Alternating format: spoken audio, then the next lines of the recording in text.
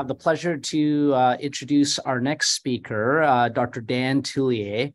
He's uh, kind of homegrown here in the Bay Area. He went to Georgetown, then came back to UCSF for medical school and orthopedic residency. Then he went to University of Washington for his foot and ankle fellowship.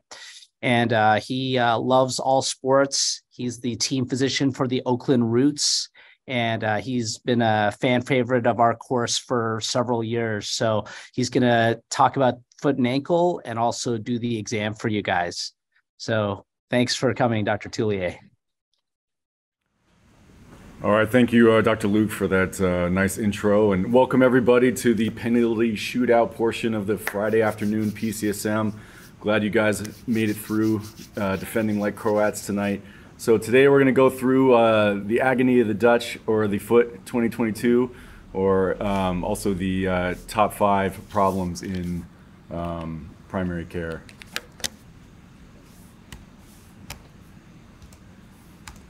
All right, I do not have any disclosures to share. Um, so for this talk, we're going to go over plantar fasciitis, Achilles tendonitis, Achilles ruptures, because I don't want anyone to miss one, ankle sprains. Also, I'm going to talk briefly about Lisfranc dislocations and how difficult they are to uh, diagnose sometimes, aka Jimmy Garoppolo. Um, and then we're going to end with talking about everyone's favorite, which is bunions. So, plantar fasciitis, I'm sure some of you probably woke up with feeling some of it this morning because it's incredibly common. About 10% of Americans will have some form of heel pain, and 90% of this is plantar fasciitis. It results in about 1 million medical visits annually Symptoms usually, most commonly, is plantar medial heel pain, often worse in the morning, often worse with activity. Um, so it can be really worse when people have a lot of startup pain, getting up from sitting, driving, things where things are uh, things where the heel and the hind foot are stable and then they move. But then also with prolonged activity, it will be painful as well. Um, the thing about the heel is there are multiple things that can cause heel pain, and while the vast majority are plantar fasciitis, it is important to know there are some other things on the differential diagnosis as well. You can see here drawn out kind of the areas of pain on physical exam that are most common presenting areas for these specific things. So plantar fasciitis usually on the plantar side, it's really on that plantar medial aspect of the origin, right uh, at the calcaneus there. You can also get calcaneus stress fractures, which tend to present more on the side. Central heel pain, which is an inflammation of the central heel fat pad, which is also quite common, usually directly underneath. And then entrapment of the first branch of the lateral plantar nerve. And so all these are very close and they can present very similarly. So it's important that your physical exam, as we'll go through, um, can hopefully get you uh, a little further along that path. Um, the pathophysiology of this, it's inflammation of the plantar fascial insertion at the medial plantar aspect of the calcaneus. The plantar fascia runs down the whole length of the foot. But far and away, the most common area where it gets inflamed is at the insertion. Uh, you can see here on this x-ray on the right side of your screen, a lot of people will develop this heel spur. A lot of patients will focus on that, thinking that that's the source of their pain. The spur itself is not really the source of the pain like it can be in other joints or other areas, but it is often a sign that there is ongoing inflammation there. However, I'll tell you as someone who sees tons of x-rays all the time, absolutely that heel spur can be there without the inflammation and without plantar fasciitis. So that's where the physical exam and history and everything else are important. These people typically will be tender to palpation right at that plantar medial aspect of the calcaneus. They will often have tight Achilles gastrocs and hamstrings, as Stephanie was just talking about. It all kind of runs together. And they may or may not have this bone spur. The treatment for this is almost always non operative. And it can be a really frustrating problem for a lot of people because it can be really quite painful and quite debilitating and it can really take many, many months to resolve. The mainstay of treatment and the most effective thing in all of our studies really is stretching. So Achilles, gastroc, plantar fascial stretching. There's plenty of resources online. The AOFAS, FootCare MD have stretches that you can give your patients if need be, um, but it is really helpful and really is the mainstay. Heel cups, padding in that area can be helpful. Oftentimes, if people have a really hard shoe or they have hard orthotics, you can push on that plantar fascia and kind of reiterate that inflammation as the day goes on. Arch supports can be helpful in certain circumstances, especially semi rigid ones. Sometimes the hard ones are just too hard, and even over the counter ones can be helpful. night splints can be helpful, especially for people that have a lot of morning pain. So if you have a lot of morning pain because you're clenching at night, clenching tight, and then waking up, stretching out that plantar fascia, keeping it stretched while you're sleeping can be really helpful. And people who are really struggling to walk, struggling to get through day to day, a brief period of immobilization in a cam walker or a cast can be helpful as well. And we're talking four weeks, six weeks. We try not to go much longer because it can start to cause other issues. Um, but it can be good, especially when people are really struggling and really having a lot of pain. Injections are also a possibility, including steroid injections. They do have an increased rupture rate. Uh, a rupture of the Achilles of, of the plantar fascia um, can hurt and be painful. Um, at, thankfully, though, they almost all will heal. So even if you were to inject it and it was to rupture, usually you put them in a cam walker or a cast, you isolate them for a little while, and they will actually heal down. So that part's okay. Some additional treatments that have come up lately, I didn't include here because they're still kind of being worked out in terms of their uh, efficacy. Extracorporeal shock wave, um, there's some level three and level four studies showing some benefit to that. Um, and then Tenex, which is kind of a minimally invasive kind of uh, procedure to try and kind of agitate the area and provide some blood supply. And there also has some, again, level four studies that have shown some ability as well. And so those are other things to potentially consider if you're trying going down the algorithm of your treatments and your patients just are not quite getting better. Um, I take this Steve Kerr quote. I can tell you if you're listening out there, if you have plantar fasciitis, stay away from surgery. I can say that from the bottom of my heart. Rehab, rehab, rehab. Don't let anyone get in there. Steve was actually saying this about back surgery, but it applies here too. And the reason for that is because though we do do surgery for plantar fasciitis, we really reserve it for the very end because the results are just very mixed. Even in the best studies we have, either looking at plantar fascia releases or gastroc releases or the combination of the two, they maybe have about a 70% efficacy rate, which for us is unfortunately not nearly as high as we'd like for a lot of these surgeries. And so we really try to get people better without um, having to go that route. And for 90, 95% of people, that's certainly the case. And so um, plantar fasciitis, thing one. The next incredibly common thing that I'm sure a lot of you have seen and maybe some of you are suffering from is Achilles tendonitis. Again, it represents 2 to 10% of the general population and 24 to 50% of lifetime runners will have some degree of Achilles tendonitis. It is incredibly common. What's the most common symptoms? Pain in the Achilles tendon area.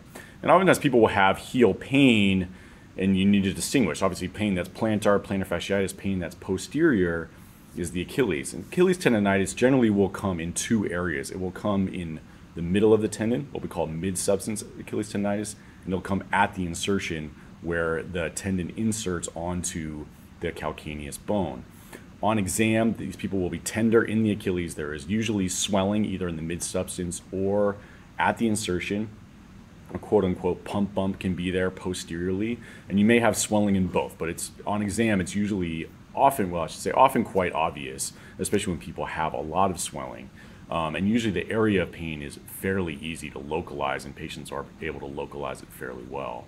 Treatment for this also is usually non operative, and there can be some of the things that are similar, including ice, rest, and NSAIDs.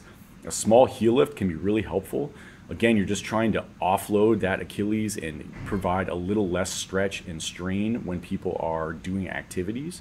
Sometimes people will um, auto treat themselves. They'll say, Hey, I found out that my clogs just feel better, so I've been wearing them. And my zero drop ultras just weren't doing it for me, and so I had to give those up.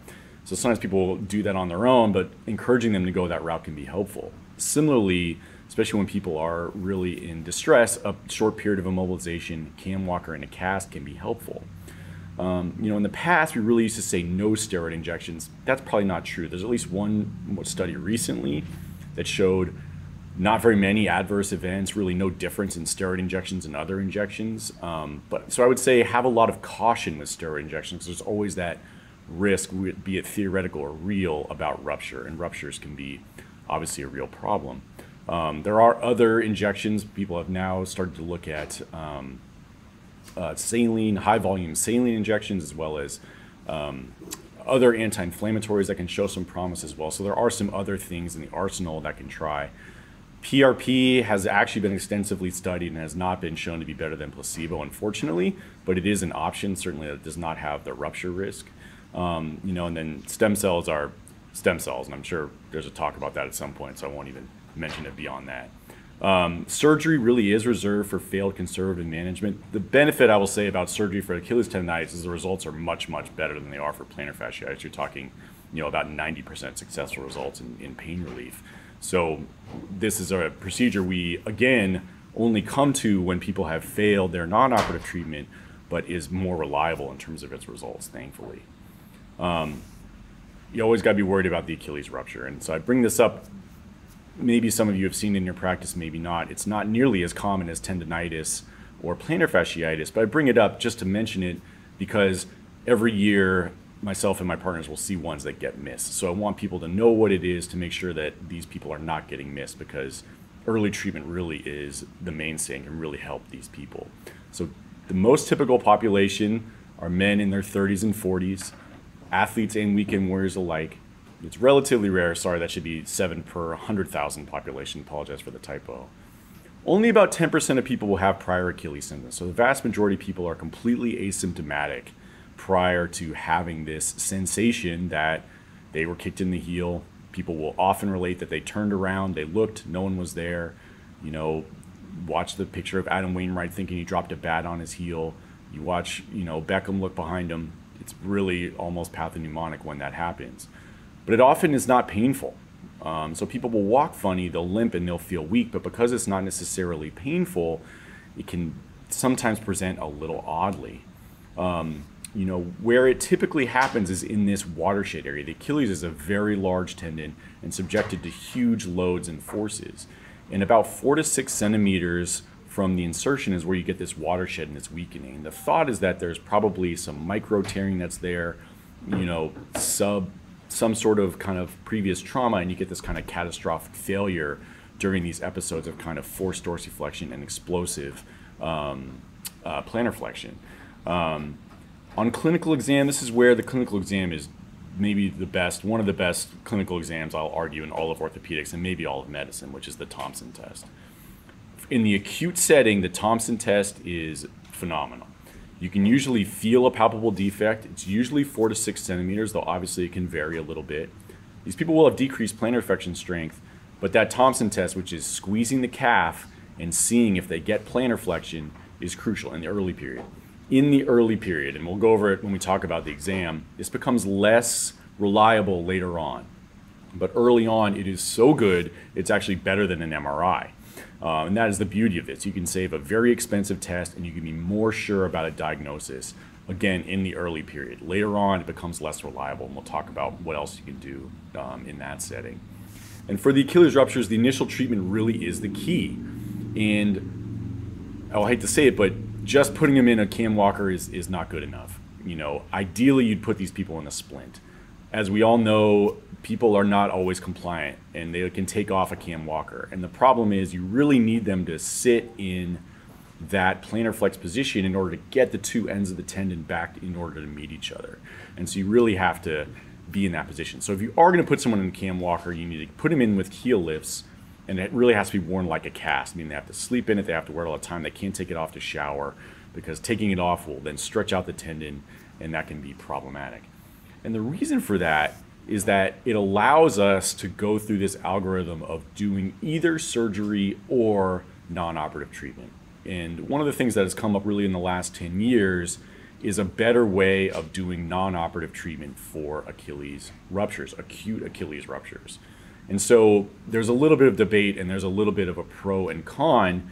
The benefit is if you catch it early and you put them in a splint, both of these options become viable if they get stretched out after about two weeks, non-operative treatment probably isn't viable anymore and they will likely need surgery. And so that's where the early diagnosis becomes really crucial and that early treatment that really allows both doors to be opened and you're not closing one door early on where someone might benefit. So the big benefits of surgery, you know you get the tension of that tendon to the proper degree and getting that tension proper is what's going to hopefully allow those people to regain their strength and get that kind of peak end strength that we're looking for. It likely has a lower rupture rate, though this is a little bit debatable with the newer protocols. You know, it feels like you did something. A lot of people will really feel like they want, you know, the thing. They want the thing that Beckham had, that Kobe had, that Clay had, that, you know, uh, KD had, you know, you name it, uh, Akers, you know, innumerable people. It also might have a possible quick, quicker return to higher level activity, and you might have this higher peak and plantar flexion strength. So with some of the newer studies that have come out, they've shown maybe a little bit of benefit towards a surgery in these areas, and those may or may not be a crucial thing for your patient. The cons, obviously, cost, and no doubt there's a higher complication rate, especially wound problems. You know, typically these days we're doing the Achilles surgeries through a smaller procedure. A lot of us are doing through this percutaneous, so the wound problems are really low, but they're not zero. And so there's certainly those risks, and especially in patients who might have things that predispose them to wound problems. The benefit of non-op treatment, less complications for sure. No surgical pain, no issues with anesthesia if they have lung or heart problems and that sort of thing. The cons, there may be a higher rupture rate and the tension may not be restored as well. And when I tell people is non-op treatment is not just no surgery or no treatment. Non-op treatment is a very, very specific protocol that people have to follow in order to get these kind of equivalent results. It has to start pretty much from week one and ideally day one or day two to really kind of get back there. And so early recognition is the key to leaving both of these open and then you know getting them to see one of us so we can have the discussion and really figure out and get a plan that is right for that patient. And I definitely have patients go both ways and with good results on both ends, so I know that that is possible. Um, we do know that this early motion is really helpful and it may kind of decrease that re-rupture rate. And so again, it's a very, very specific protocol that's kind of come about that's shown these good and equivalent results. All right, moving on to PK3, where we start separating things, talk about ankle sprains. I'm sure some of you have had it. I know I had. I grew up playing basketball. It was an every year type of thing. And this affects men and women of all ages. 600,000 sprains per year in the US. It's 3 to 5% of all ED visits in the soccer slash football playing world of the UK. Symptoms usually pain in the ankle, swelling, and you can have difficulty with weight bearing. Some people can weight bear just fine, other people won't be able to walk at all most common ligament that's injured is the ATFL. The ATFL stands for the anterior talofibular ligament, going from the talus to the fibula. You see it pictured right here in the red circle. It's that inversion injury that usually um, stretches this and tears it to a varying degree. Um, when we grade a sprain, we usually grade it on how much is torn between one and three, three being a complete tear and one being a very small partial tear. Um, the importance about this is that even when you tear these ligaments, the mortise will be maintained because those high ligaments, the syndesmosis and the deltoid ligament on the inside are still there. And so the ankle mortise itself is still intact, which means that people can walk, people can generally do a lot of things. So even with a grade three uh, sprain, when you completely tear those ligaments, these people often are still really quite functional. And that's why the majority of these will be asymptomatic at one year, no matter how they're treated. Harry Kane, unfortunately for the U.S., although he didn't score against us, was able to get back even within you know a week of his sprain. But sometimes it can be several months before people get back. So usually we really do this limited early mo- mobilization. We put people in the cam walker just for you know one to three weeks, but we get people moving early, which seems to get people back to activities and other things early on, helps their motion. And we really reserve surgical repair of these ligaments for people with prolonged you know, greater than six months of symptoms or recurrence of instability, aka, you know, Steph Curry. Um, those are the people, for the vast majority of these, 95, 98%, this non operative treatment with early motion, early rehab will get people back and make them fine. Um, the high ankle sprain is a little bit different, and often the mechanism is a little bit different. You can see um, from you know one of the gunners here, it often will be that kind of dorsiflexion and eversion injury because it's getting the higher ligaments up where you're separating along the those uh, ligaments, the uh, anterior inferior tib fib ligament and posterior inferior tib fib ligament and interosseous ligament.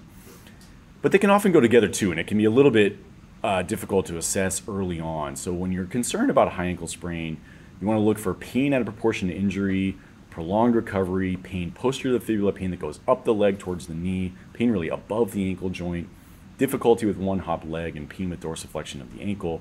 And we'll show some uh, physical exams that can help with that in the next portion as well.